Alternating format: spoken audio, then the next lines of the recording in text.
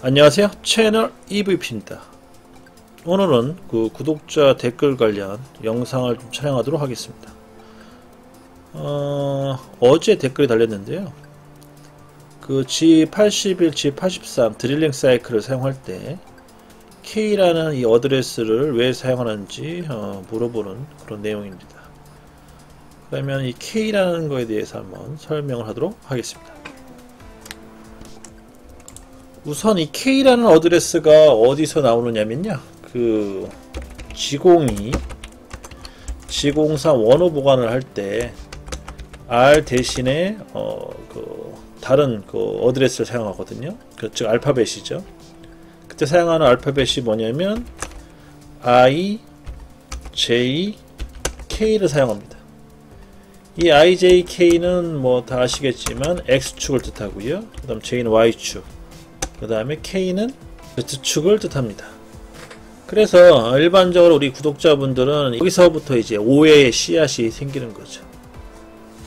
어, 참고로 이 IJK라는 거는 주로 원호 보관할 때 그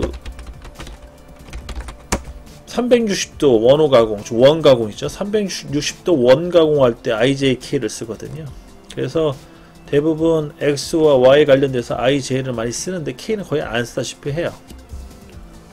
그래서 갑자기 K가 튀어나오니까 어, 어라 저 원호에 쓰던 K가 왜 여기서 나올까? 라고 이제 약간 의문이 생긴다는 거죠. 여기서부터 이제 문제가 생기는 거죠. 여기서부터 연결을 지으시면 안 되고 다르게 각각 다른 기능으로 보셔야겠습니다. 그러면은 이제 G81, 어, G 83 또는 뭐73 이제 이런 거 이제 드릴링 사이클 이라고 하는데요. 뭐 탭 사이클도 해당되고요. 그래서 이건 이제 드릴링 사이클인데 드릴링 사이클에서의 K는요. 그 원호 보관의 K와 다른 그런 기능을 합니다. 얘는 무한 반복이라는 어, 기능을 하는 거고요. 그래서 어떤 것을 무한 반복하겠냐 어, 그런 개념으로 이해를 하시면 되겠습니다. 그러면 이 동영상에 나오는 어, 그 코드를 보시게 되면 G91 X는 30점 K5 이렇게 써 있는 거거든요. 그러면은 어, 드릴링 사이클에서 사용된 K는 무한 반복이라서 이걸 우리말로 해석을 하면 상대 그러니까 증분값이죠. 뭐 상대 지령이라고 표현하는데 증분값이죠. 증분값으로 오른쪽으로 30mm 가는데 요걸 다섯 번 어, 반복하라는 뜻입니다. 이렇게 이제 명령을 전달해 주는 거죠. 머신이 센터한테. 이런 식으로 해서 이렇게 어, 풀이된 어, 글을 읽어보시게 되면 아마 금방 이해가 되셨을 거라고 보고요. K라는 거는 뭐 축 개념이 아니고 여기서는 이제 반복 횟수 개념이다. 라고 이해하시면 되겠습니다. 자 그러면 간단하게 프로그램 짜서 한번 돌려볼게요.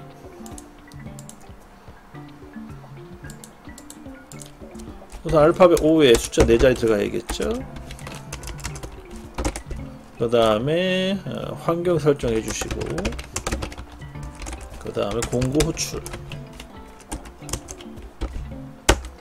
그 다음에 회전수를 넣어주시고 원점 잡아주시고요. 절대 지령 방법으로 위치를 잡아줍니다. 그 다음에는 길이 보정해 줘야겠죠. 그 다음에 알점 복귀 그 다음에 어, 드릴링 사이클 그 다음에 XY는 생략해도 됩니다. 굳이 집어넣을 필요는 없고요. 근데 저는 집어넣었어요. 이유가 있어 집어넣은 거예요. 그 다음에 관통 한 30mm 집어넣고 R값 집어넣고 Q값 집어넣고요. 그 다음에 이제 F값을 집어넣습니다. F값은 100 정도. 그 다음에 절삭률을 이제 위에다 집어넣을게요. 그리고 G91 증분 값으로 또 상대 지형으로 오른쪽으로 한 20만큼 다섯 번 반복해라 이렇게 정리를 하겠습니다. 그 다음에 끝났으면은 음, 원상복귀 시키시고요. 그 다음 추측 정지 프로그램 종료를 합니다. 이렇게 간단하게 프로그램을 짰습니다. 이거를 한번 시뮬레이터에 돌려서 입력을 해서 어, 한번 가공해 볼게요.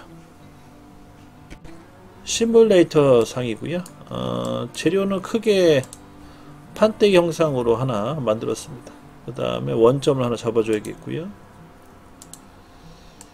네, 현재 이 위치를 원점으로 잡아주고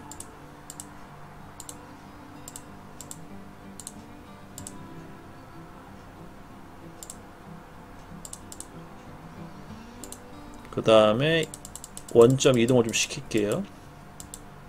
음, 20mm 정도 이동. 10mm만큼 이동할까요? 10mm만큼 이동.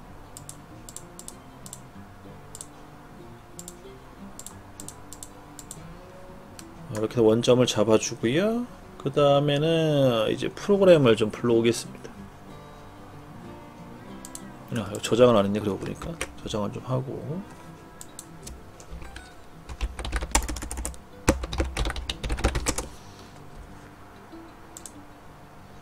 그래서 에디트 프로그램 가셔가지고 프로그램을 불러오고요.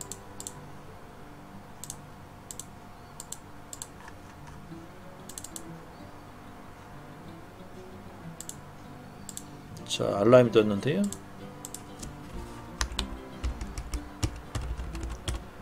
q 값이 문제인가?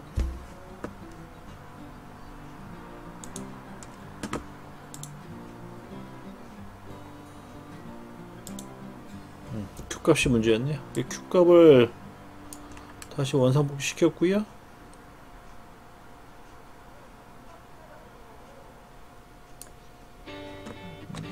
잠깐만요. 이게 원점이 이동이 적용이 안 먹었네요. 하지만 아마 프로그램 먹으면서 진행이 될 것 같아요.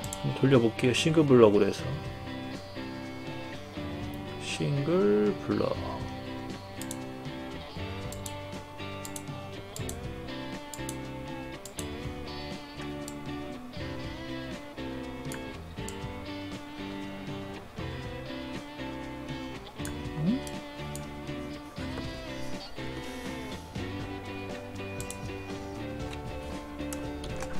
깜짝 놀랐네. 여기 10mm가 왜 안 들어갔죠? 실수했나? 아, 다시 10mm 집어넣습니다. 음, 이렇게 이동이 돼야 되죠. 음, 오케이. 그래서 다시 싱글 블럭으로 해서 또 천천히 진행을 해볼게요.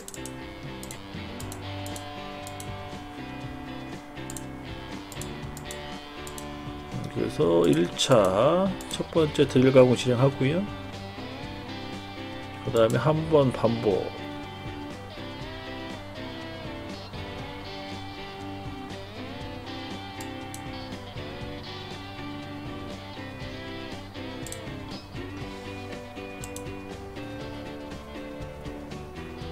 그 다음에 두 번 반복.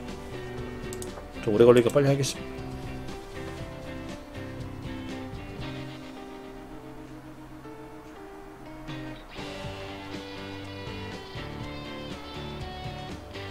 다음 세 번 반복.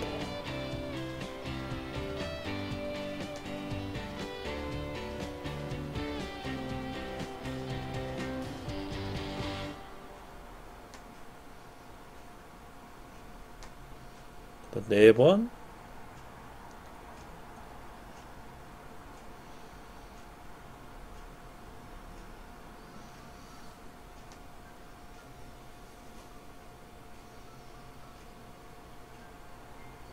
그 다음 마지막 다섯 번. 그 아까 얘기했다시피요, 어, 증분값으로 해서 현재 위치에서 20mm만큼 오른쪽 이동한 다음에 구멍을 뚫는 거죠. 그걸 총 다섯 번 반복하는 거예요. 그게 G91 X20점 K5라는 뜻입니다. 어, 이렇게 해서 이제 프로그램이 어, 완료가 되는 거죠. 그래서 여기까지 하고요. 음, 구멍 잘 뚫렸나 확인하고 음, 마무리 지 시면 될 것 같습니다. 이렇게 간단하게 어, 그 구독자 어, 질문하신 내용 어, 답변 영상을 어, 마무리 짓겠습니다. 감사합니다. 네, 채널 이브입니다. 다시 왔습니다.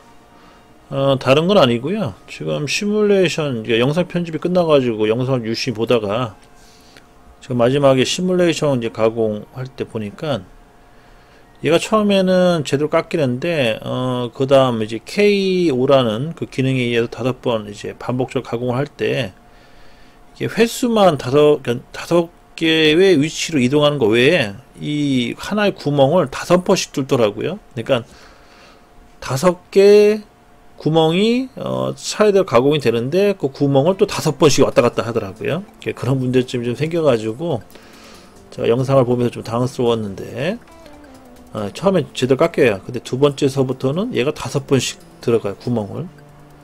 그러니까 반복적으로 들어가다고 지금 보니까 예, 제가 저런 문제점이 생겨가지고 저거는 차후에 제가 실제로 머, 어, 머신 센터에서 실제 한번 돌려볼게요. 이 프로그램이 제대로 먹는지 안 먹는지 그걸로 한번 검증을 어, 하도록 하겠습니다. 요거는 참고로 알고 계시기 바랍니다.